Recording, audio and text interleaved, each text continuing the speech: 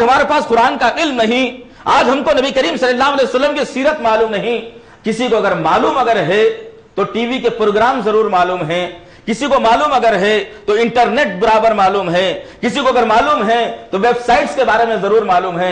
किसी को मालूम है तो किसी के क्रिकेट के बारे में ज़रूर मालूम है। लेकिन अगर नहीं मालूम है तो इस्लाम एक ऐसा मजलूम मज़हब रह गया, जिसके बारे में आज हम ना मालूम करना चाहते हैं, ना जानना चाहते हैं, ना तो हमारे अंदर कोई मालूम का खजाना है। शरीर ज़रूरत है मेरे भाई। कि उम्मत का हर फर्द एक ज़िम्मेदारी को महसूस करते हुए आगे आने की ज़रूरत है। इल्म को हासिल करने की ज़रूरत है। इल्म सीखने की ज़रूरत है। इल्म सिखाने की ज़रूरत है। तो गर्ज यही कर रहा था अजिज साथियों कि नबी करीम सल्लल्लाहु अलैहि वसल्लम ने अहदीस मुबारिका के अंदर बहुत सारी ऐसे चीज़ें बताई हैं जो जिन्हों की दलालत पर हमें बेहतरीन तरीके से एक वाज सबूत मिलता है। चुनाचे नबी करीम सल्लल्लाहु अलैहि वसल्लम ने सही मुस्लिम और इमाम अहमद बिन अहमद रहमत की हदीस है कि हज़रत आयशा सिद्दीक़ ने रिवायत करती हैं कि नबी करीम सल्लल्लाहु अलैहि वसल्लम ने फरमाया कि अल्लाह ताला फरिश्तों को नूर से पैदा किया और जिन्नात को आग के शोलों से पैदा किया और इंसान इन्हें आदम को मिट्टी से पैदा किया। यहाँ पे एक और नुकता, बड़ा गौर तलब है कि अल्लाह रब्बुल इज़्ज़त ने जिनकी पैदाइश के बारे में जहाँ कहीं बताया है कि उठने वाली लौ का तस्करा अल्लाह ने किया है। एक होता है शैतान, एक होता है जिन, जो है एक ही नस्ल के, लेकिन थोड़ा सा फ़र्क है इनके दरमियान में। यह फ़र्क इस तरीके से है कि जिस तरह से अल्लाह रब्बुल इज़्ज़त ने आदम सलाम को मिट्टी से पैदा किया था, फिर अल्लाह रब्बुल इज़्ज़त ने बाकी जो इंसानों को पैदा किया है वह खून के लोठड़े से पैदा किया है। एक टपकते हुए पानी से पैदा करने का अल्लाह ने ज़िक्र किया है। सूर्य हज की आयत नंबर तीन अगर आप पढ़ेंगे तो उसमें अल्लाह रब्बुल इज़्ज़त इंसान की पैदाइश के बारे में बताया कि आदम को हमने मिट्टी से पैदा किया और तमाम बात आदम की औलाद को हमने एक टपकते हुए खतरे से पैदा किया है। लेकिन हम, हमको क्या कहा जाता है? आदम ही की औलाद में से कहा जाता है। तो इसी तरह से शैतान जो है, जिन जो है, वो एक ही नस्ल से है, थोड़ा सा फ़र्क है इसके अंदर।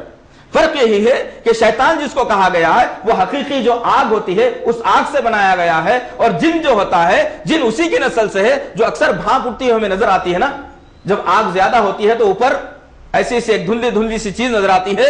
नबी करीम सल्लल्लाहु अलैहि वसल्लम ने और अल्लाह रब्बुल इज़्ज़त ने वाजे कर दिया इस बात को। चुनाचे अल्लाह ताला ने सूर्य एहकाफ और सूर्य कहफ की आयत नंबर 50 के अंदर भी इस बात का तस्करा किया है कि हमने शैतान को आग से पैदा किया है और जिनों को हमने उसके उठते हुए शोरों से पैदा किया है। उसकी जो लौ होती है, जिनों को उससे पैदा किया गया है। इसीलिए अहले इल्म एक बड़ी ज़बरदस्त बात यह बताई है कि अगर किसी के घर में शैतान अगर दाखिल होना हो, बड़ी, बड़ा ज़बरदस्त नुकता है ये।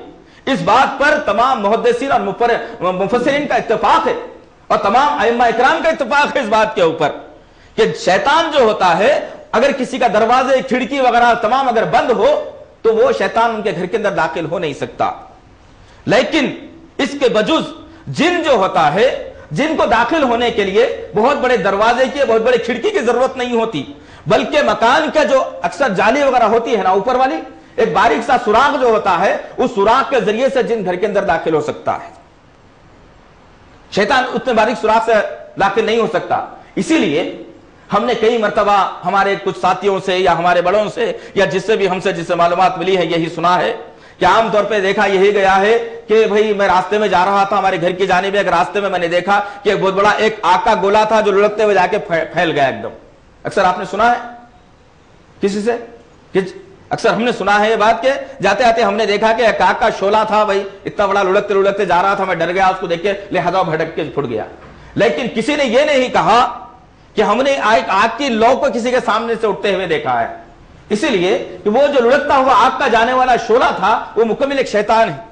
और उसकी लौ से जो पैदा होने वाला, वो एक जिन है। तो जिन और शैतान के अंदर यही एक डिफरेंस तो लिहाजा, हकीकत इनकी यही है कि ये भी अल्लाह के हुक्म के मोहताज हैं, या किसी को अपनी तरफ़ से नुकसान या फ़ायदा नहीं पहुँचा सकते। वजूद इसके कि मिसाल के तौर पर, एक आदमी जब अजान बुलंद होती है तो एक आदमी मस्जिद की तरफ़ जाता है, एक आदमी बाज़ार की तरफ़ जाता है। तो इसका मतलब यह नहीं है कि अजान जो दिया जा रहा है, कुछ लोगों को बाज़ार की तरफ़ या कुछ तरफ़, कुछ लोगों को मस्जिद की तरफ़ जाने का हुक्म दे रही है। बल्कि आने का हुक्म तो लोगों को दे रही है कि मस्जिद की जानी आओ। लेकिन आदमी अपने अमल से, अपने करतूत की वजह से वो बाज़ार की तरफ़ चला जाता है। तो उसी तरीके से कोई जिन या शैतान किसी को नुकसान नहीं पहुंचाता। बजुल उसके उसके के उसके अंदर अल्लाह का हुक्म शामिल ना हो। एक दूसरी बात और एक ये है कि जब तक के हम अल्लाह का ज़िक्र करते रहें, जब तक के घर के अंदर इस्लामी माहौल को रखें, जब तक के घर के अंदर नमाज़ और कुरान की तिलावत होती रहे, जब तक के घर इस्लामी माशरा बन करके रहे, उस वक्त तक इस बात का चैलेंज है कि उस घर के अंदर कोई जिन या शैतान दाखिल हो ही नहीं सकता। इसीलिए नबी करीम सल्लल्लाहु अलैहि वसल्लम ने बड़ी जामे बात हमें बताई है कि तुम अपने घरों को खबरस्तान ना बनाओ।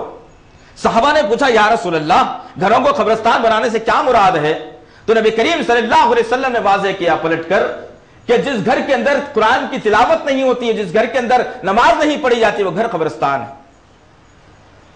तो इससे पता यह चला कि घरों को खबरस्तान ना बनाओ, क्योंकि खबरस्तान में अक्सर जिन्नात वगैरह हुआ करते हैं, शयातीन ज़्यादा हुआ करते हैं। अगर किसी को मुशाहिदा अगर करना हो तो आसपास के जो खबरस्तान है फजर से पहले उस खबरस्तान के कोई कार्नर पर या करीब में खड़े होकर देखिए। जैसे ही मोजन अल्लाह अकबर की अजान बुलंद करता है, उसी तरीके से कुत्ते भूखना शुरू करते हैं, चिल्लाना शुरू करते हैं, रोना शुरू करते हैं। क्यों?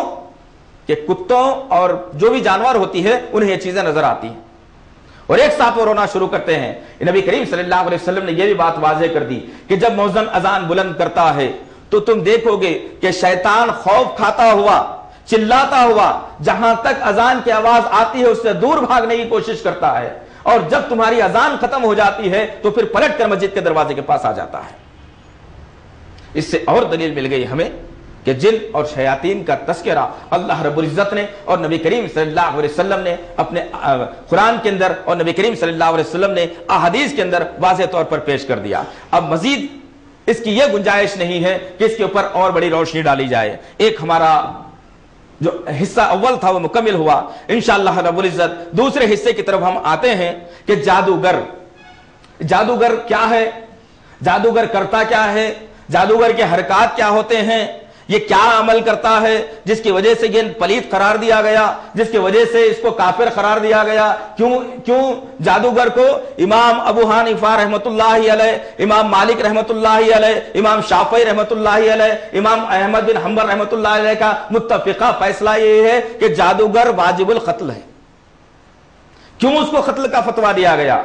क्यों ये अम्मा कराम और इल्म उसके मुतालिक जना बुरी बातें कहीं? इसलिए अज़ीज़ साथियों, कि आज मैंने आपके सामने बात रखी कि आज जरा जरा सी बात पर लोग बुरे बुरे इल्म की तरफ़ लौट जाते हैं। आज जरा जरा से दुश्मनी निकालने के लिए, अरे लड़ो, झगड़ो, मारम पीटे करो तो पुलिस नाके होंगे, वो बहुत बड़ी अदालत, कचहरी चलेगी, लिहाजा छोटा सा काम ये कर दो कि जादूगर के पास जाओ और कुछ जादू ऐसा करा दो जिसकी वजह से लोग इसके अंदर मुलविस रहे और सारी ज़िंदगी इनकी गुजरती चली जाए। आज कई खानदान हमारे सामने मौजूद हैं। आज कई लोग मुतासर, कई नौजवान मुतासर है, कई लड़कियाँ मुतासर हैं। आज तो मामूली मामूली बात पर यह जादू हो रहा है कि किसी ने आकर के किसी की लड़की का रिश्ता तय किया। लिहाजा उन्होंने कहा कि हम आपके बेटे को लड़की नहीं देंगे। इसी बात के ऊपर खफा हुए और उसकी लड़की के ऊपर ऐसा जादू किया कि उसकी शादी होने का नाम ही नहीं लेती। तो गर्ज मुख्तसर बात यह है अज़ीज़ साथियों तो जादूगर के मुतालिक इंशाला हम आपके सामने वो हकायत और वो दलायल रखेंगे इंशाला रबुल्ज़त कि जादूगर करता क्या है। जादू सीखता कैसे है? उसकी क्या सिफात होती है इंशाला ताला? जादूगर, जिसको कहा गया है, इन्हें एक ऐसा शख्स जो जिनों की खिदमत हासिल करता है। सही मुस्लिम शरीफ की हदीस है। नबी करीम, अबू सईद खुदरी रज़ी अल्लाह रिवायत करते हैं कि नबी करीम वसल्लम ने फरमाया कि वो गज़ा, वो अमल हराम है जो अल्लाह के अलावा किसी की मदद के लिए किया जाए। चुनाचे जादूगर जो होता है, वो जिन्नात की मदद ही के ज़रिए तमाम काम अंजाम देता है। अब जादूगर करता कैसा है, इसको सीखता कैसा है, मुख्तर बात मैं आपके सामने रखूँगा कि जादूगर को सीखने के लिए सबसे पहले शिरकिया कलमात इख्तियार करनी पड़ती हैं। कुरान को उल्टा पढ़ना पड़ता है। और यहीं तक बस नहीं होता तो जनाबत की हालत में वो आकर के नमाज़ को अदा करता है। मालूम है ना जनाबत की हालत? बहुत सारे नौजवान है जिनको उर्दू से बड़ी नावाफियत है। नहीं जानते? तो जनाबत की हालत यह होती है, जो बीवी से मुबाशरत होती है रात को। उसके बाद जो गुसल आपके पर लाजिम हो जाता है वैसे ही हालत के अंदर वो आदमी आकर के कुरान की तिलावत करता है या फिर नमाज़ अदा करता है। बगैर वज़ू के नमाज़ पढ़ना, और फिर यहीं तक नहीं, बल्कि वो इस तरीके से कुरान की बेहरमती करता है एक जिन को अपने कब्जे में करने के लिए, जिनके बादशाह को कब्जे में करने के लिए, कि अपने तलवों के नीचे कुरान की आयतों को लिखता है और उसके ज़रिए से वो चलता है। और आज हम